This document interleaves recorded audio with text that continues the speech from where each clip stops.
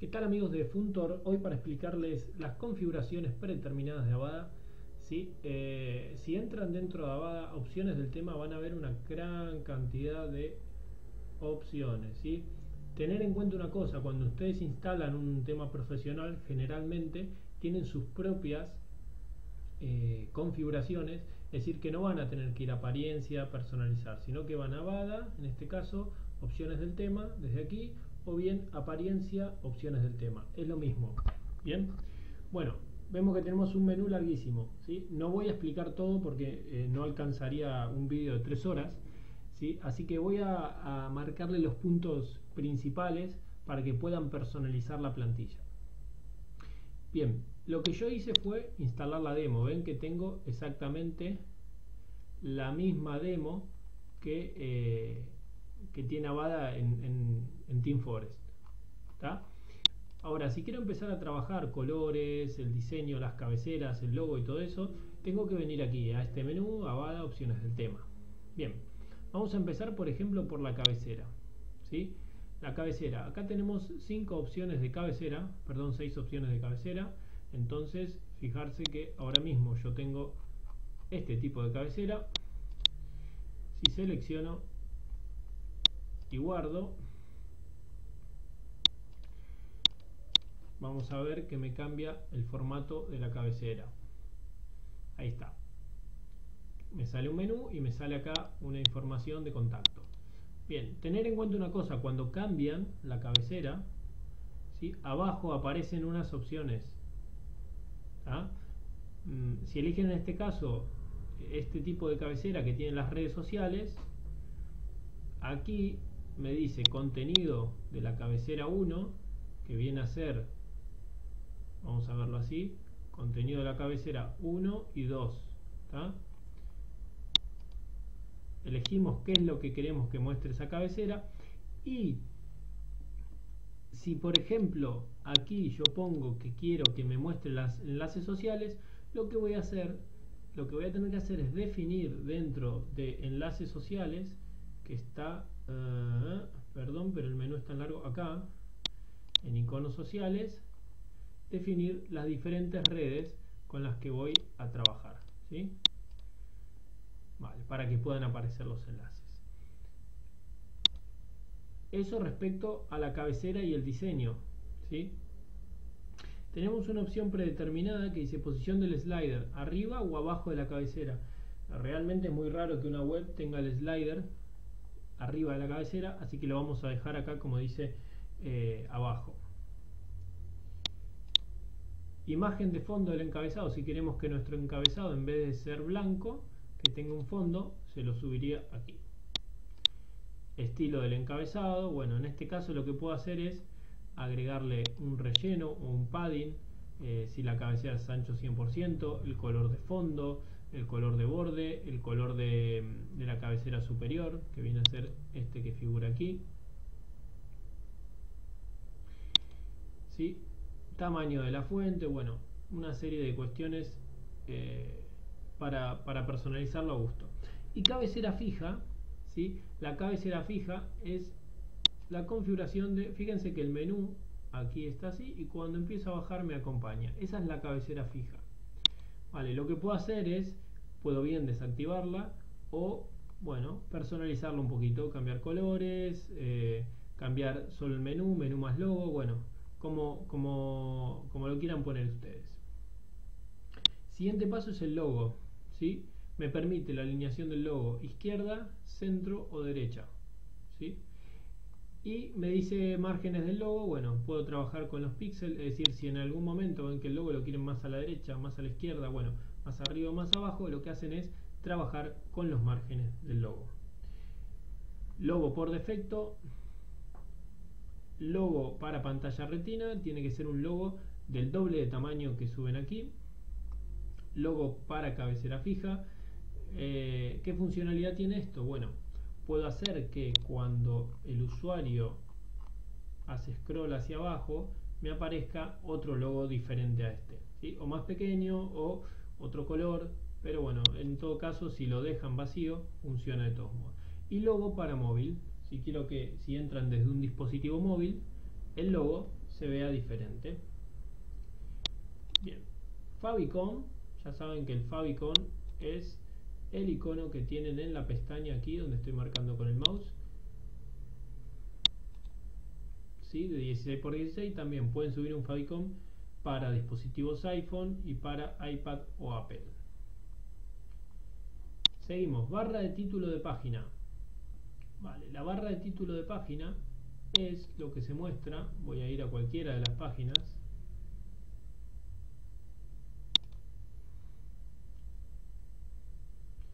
y esto es la barra de título de página.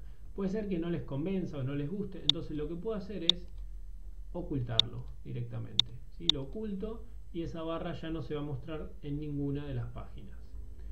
O también hay opciones de solo contenido, barra y contenido, bueno. Recordar que estas configuraciones son globales, es decir, que aplican a todas las páginas. Luego, en cada página ustedes pueden quitar esa opción. ¿eh? Ruta de navegación. ¿sí? La ruta de navegación es esto que figura aquí. También lo pueden activar o desactivar o lo que quieran. Ninguno o una caja de búsqueda. El tipo de separador, el tamaño de la fuente, el color y todo, todas esas opciones. Vale. La barra deslizante, o como dice acá, sliding bar, es esto. Es para poner algún tipo de contenido, por decirlo de alguna manera, oculto, pero que si el usuario clica aparece aquí. Bien. Esto lo puedes habilitar desde aquí, directamente, o bien eh, deshabilitarlo únicamente para dispositivos móviles o eh, cualquier tipo de dispositivo que no sea ordenadores de mesa. Colores y otras cuestiones lo tienen aquí. Y para aplicar contenido dentro de ese sliding bar, lo que van a hacer es, si me voy a apariencia em, widgets, apariencia widgets, tengo aquí fíjense que dice eh, eh, eh, sliding bar widget 1, 2, 3 y 4. Es decir, cualquier cosa que yo vuelque aquí va a aparecer ahí adentro. Vamos a, a probarlo, por ejemplo, voy a volcar un calendario en el sliding bar. Guardo, voy a actualizar a Vaga ahora, voy a actualizar el, la página. Y cuando vengo acá tengo un calendario. Es decir, todo lo que vuelque en estos widgets va a aparecer en el sliding bar. Seguimos con las opciones del tema. Pie de página. Bien, el pie de página. Dice pie de página widget on off y cuántas columnas quiero tener. En este caso, si me voy abajo de todo el pie de página, tengo 1, 2, 3 y 4 columnas. ¿sí? Si quisiera tener tres, lo único que hago es modificar, puedo subir o bajar el contenido de columnas y, y si quiero aplicar widgets dentro del pie de página, igual que como en el sliding bar, lo que hago es voy a apariencia, widgets,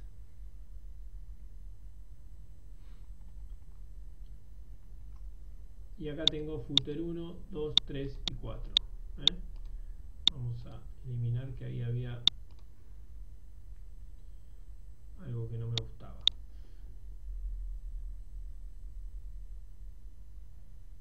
Bien, ¿qué más tenemos? Barras laterales. ¿Sí? Las barras laterales son, si me voy al apartado blog, vamos a ir al blog, voy a cerrar el sliding bar, voy a ir a blog medium, por ejemplo.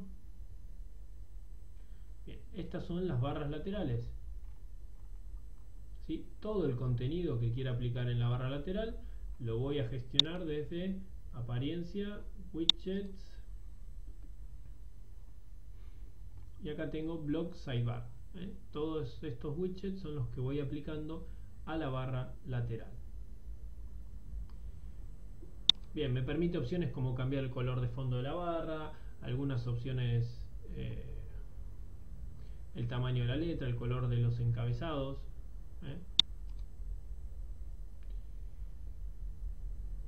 Vale.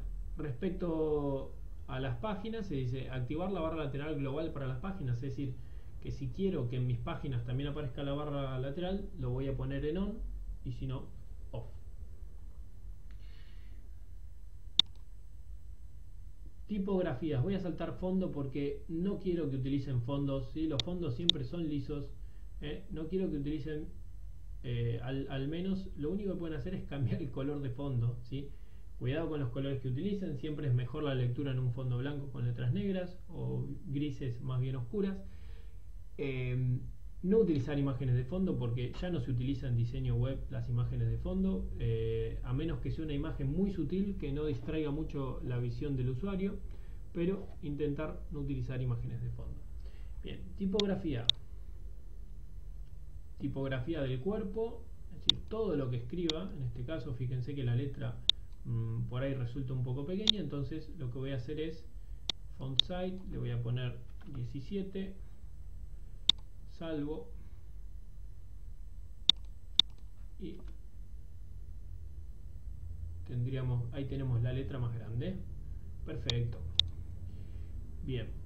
Colores de los enlaces también todo lo que sean textos enlazados le puedo dar un color tipografía de los encabezados el H1 el H2 acuérdense que son muy importantes para el SEO ¿eh? si me voy por ejemplo a cualquiera de las páginas me voy a ir a eh, vamos a ir acá a donde fui antes, a Word Office. Esto es el H1. Si queremos que sea más grande, lo que hacemos es subimos acá el font size y tenemos también tipos de letra. Acá tenemos una gran cantidad de tipos de letra porque utiliza Google Fonts H2, H3, H4, H5 y H6. ¿Sí?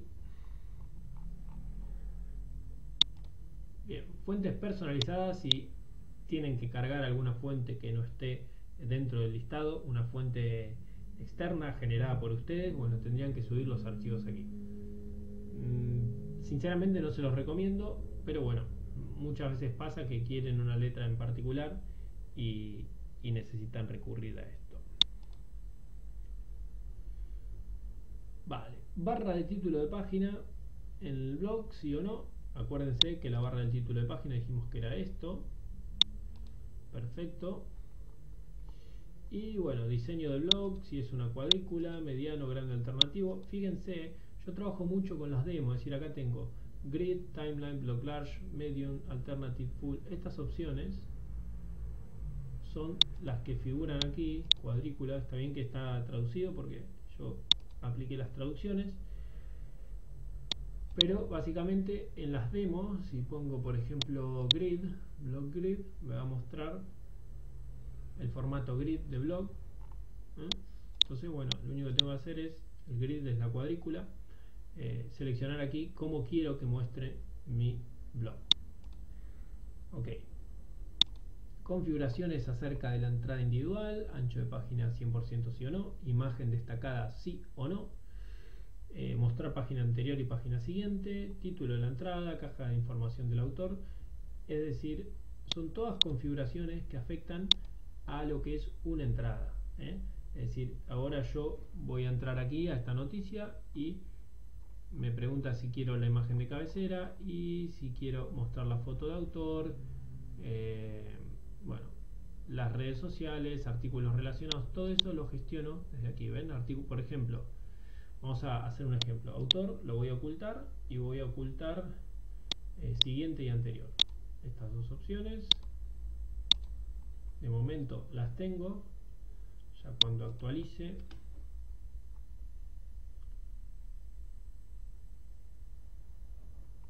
¿Sí? Oculté el autor y oculté el siguiente y el anterior que estaba aquí arriba. Bien, portfolio el portfolio, acordarse, si voy a la demo, es para generar este tipo de contenidos. ¿sí? El portfolio generalmente se utiliza para presentar proyectos. ¿eh? Por ejemplo, una agencia de marketing lo que hace es genera categorías, diferentes categorías, eh, diseño web, SEO, eh, email marketing, Facebook Ads o lo que sea, y ahí dentro va presentando los diferentes proyectos y con una descripción de los mismos. ¿sí? Hago aquí en el enlace tengo. Esto es como presentaría un proyecto. Vale, lo que defino acá es el portfolio general, que viene a ser cuando voy a portfolio, grid, la configuración general que me va a mostrar todas, todos los proyectos, definiría aquí cómo quiero que se muestren. Dos columnas, tres columnas, cuatro columnas, bueno. Y cómo quiero que se muestre el proyecto de forma individual. ¿sí? Eh, es decir, cómo quiero que se muestre una vez que entro aquí. Perdón, el enlace. Una vez que entro, cómo quiero que sea presentado el proyecto. ¿eh? Puedo ocultar cosas, acá dice imagen destacada, primera línea destacada, foto destacada, siguiente anterior, bueno, autor, sí o no, todo, todo lo que, opciones de configuración. Eh, les digo, no voy a hacer todas las opciones porque son muchísimas, pero quiero que medianamente eh, entiendan cómo funciona VADA y cuáles son las opciones más básicas para que puedan trabajar. Vale, medios sociales ya lo vimos para implementar las redes sociales.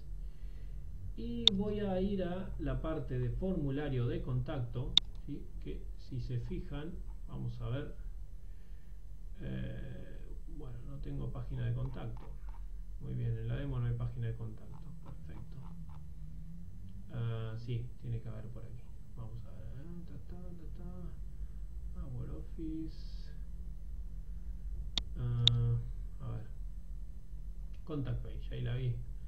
Ahí la vi, seguramente ustedes la estaban viendo y nadie me avisó.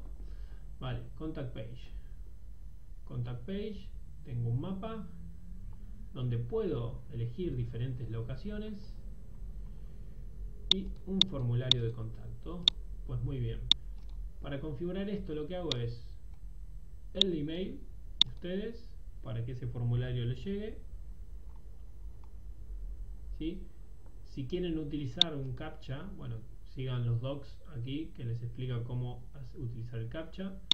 Un mapa de Google donde lo que hago es, fíjense que en este mapa hay tres ubicaciones, por eso lo que hace es primera ubicación, barra, segunda ubicación, barra, tercera ubicación. Es decir, que lo que van a hacer, si quieren poner una dirección exacta, lo que van a hacer es poner, por ejemplo, Grande Gracia, yo estoy en Barcelona, señores, 71, Barcelona. Barcelona con B mayúscula. Con B alta, como dicen aquí. Barcelona. Ahí lo que defino es la dirección y lo que haría es poner otra barra si quiero poner otra ubicación. Acá tienen el tipo de mapa, satélite híbrido terreno o mapa de carretera que es el normal, dimensiones del mapa de Google, 100% siempre que abarque el ancho y después pueden, si les parece que está muy alto, pueden definir acá, achicarlo un poquito. El margen superior, el nivel de acercamiento del mapa, es decir, si consideran que el mapa tendría que tener un zoom más próximo, bueno, lo que hago es, le doy mayor zoom, dirección del pin on off, es decir, que me muestre la ubicación, ¿Mm? y luego en estilo de mapa, acá tienen estilo personalizado, en este caso lo que hace es, si le doy un color de superposición, ven que está verde, como verdoso, bueno, eso lo definen acá. El infobox también lo puedo personalizar. Lo que hacen acá es, en el, en el punto anterior yo había tres ubicaciones, entonces por cada ubicación ponen primera ubicación, descripción barra, segunda, barra y tercera. Entonces, si se fijan, lo que sale ahí es esto que figura aquí abajo.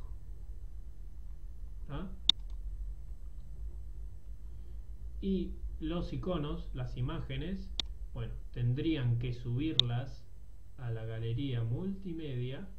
Esto no lo voy a explicar porque se supone que han visto mis otros vídeos introductorios eh, si alguno tiene dudas, igual obviamente puede dejar un comentario, pero tendría que subir las imágenes a la galería multimedia, copiar la URL y pegarla aquí. Siempre separando con una barra vertical, que esa barra, para los que no lo saben, la hacen con Alt GR más el 1. ¿sí? Bien, hasta aquí eh, son todas las opciones. Les voy a explicar bueno, cómo hacer para que la página de contacto se convierta en la página de contacto, porque eso sí lo tienen que saber. Si me voy a añadir nueva página, si ustedes cargaron todos los datos aquí, ubicación, su email y todos los datos que les pide, lo último que tienen que hacer para que aparezca una página de contacto es cuando crean, si yo vengo acá y creo la página, perdón, creo la página contacto, contacto, lo que voy a hacer acá es donde dice plantilla contacto. No voy a cargar nada aquí y ya me va a aparecer la página con el mapa y con el formulario. ¿sí? Lo publico y me aparecería. Acordarse siempre que tienen que añadir la página al menú principal. ¿sí? Hasta ahí las opciones básicas de Avada para que puedan empezar a trabajar.